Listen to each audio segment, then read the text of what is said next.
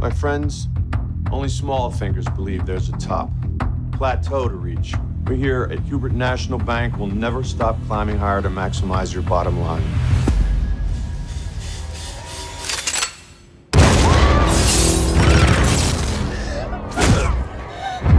Do not be a hero. We're here for the bank's money, not yours. We have a robbery homicide. Brutal. Very personal.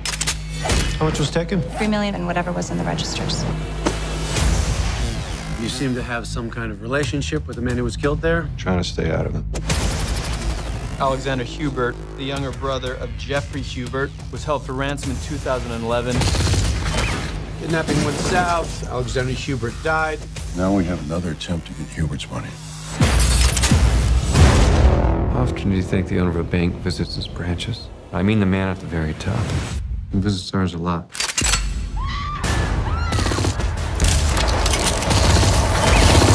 Agent Montgomery, they've hit another bank. We're on it. a $3 million donation to a charity. These guys are trying to make themselves look really good.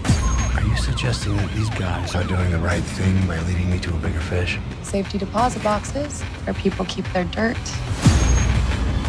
Now, why did he hold on to something so incriminating? Seven of 16 representatives have accounts at Hubert's branch. What's the difference between a question and an allegation? An allegation is the one you don't answer. Yeah.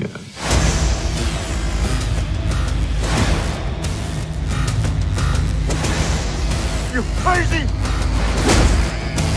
Hubert is still out there.